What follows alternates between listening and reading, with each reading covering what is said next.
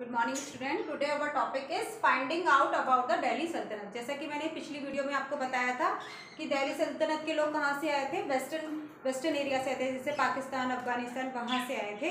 इन लोगों ने हमारे दिल्ली पर शासन किया था। और मैंने उनकी बताया था कि फाइव डेंसिटी थी, जिन्होंने हमारे यहाँ पर शासन किया था। उनके नाम भी बताए थे। अब हमारा आता है कि finding out about the Delhi sultanate हम दिल्ली सल्तनत के बारे में कैसे जानेंगे, कैसे समझेंगे कि वहाँ, उसके बारे में किस तरीके से पता चलेगा? तो उसके लिए सोर्सेज ऑफ़ हिस्ट्री हिस्ट्री उसका क्या सोर्स है हिस्ट्री में जिनके, जो हमें बताती है दिल्ली सल्तनत के बारे में? तो इसमें है सबसे पहले इंस्क्रिप्शंस पॉइंट्स एंड आर्किटेक्चर यही तीन नहीं है।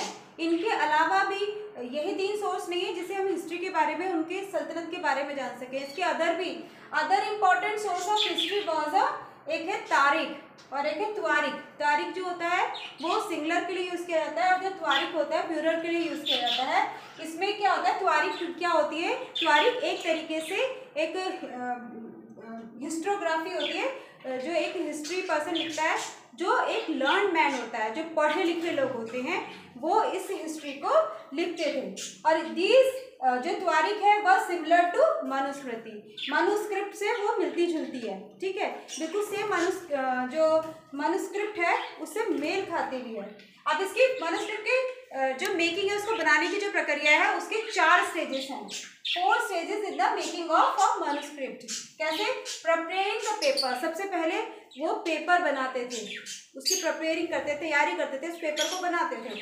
And second is writing the text उसके ऊपर जो पढ़े लिखे, जो आपके लर्न मैन थे, वो उस पर स्क्रिप्ट लिखा करते थे। उसके ऊपर पूरी बुक लिखा करते थे। And third is melting gold to highlight to important words and passage आपने देखा होगा ना अब तो हमारे पास बहुत डेवलपमेंट है। हम बुक्स में देखते हैं कि हमारे बोल्ड करके कुछ अगर उन्हें हाईलाइट करना होता तो कुछ अलग कलर से या बोल्ड कर देते थे। लेकिन पहले क्या होता था? पहले ऐसा कुछ नहीं था तो वो गोल्ड को गोल्ड को मेल्ट करके उन वर्ड्स पर उसे पेन की इंक में भर लेते थे और उसे आ, उसको लिखते थे। तो यानी कि वो गोल्ड हो जाता था। ठीक है प्रिपेयर एंड लास्ट हमारा होता था प्रिपेयरिंग द बाइंडिंग फिर उस बुक को सारी बुक को बाइंड कर दिया जाता था। यानी कि हम दिल्ली सल्तनत के बारे में कैसे जानेंगे? दिल्ली सल्तनत के बारे में हमारे पास जाने के लिए तीन सोर्सेस तो थे, है ना?